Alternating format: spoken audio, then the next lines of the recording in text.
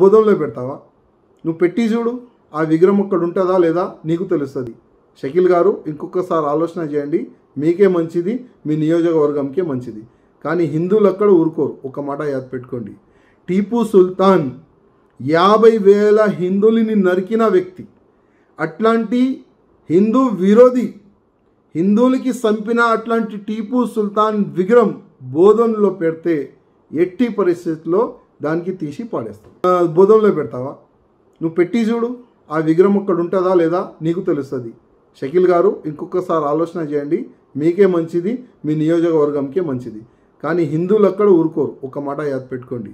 టీపు సుల్తాన్ యాభై వేల హిందువులని నరికిన వ్యక్తి.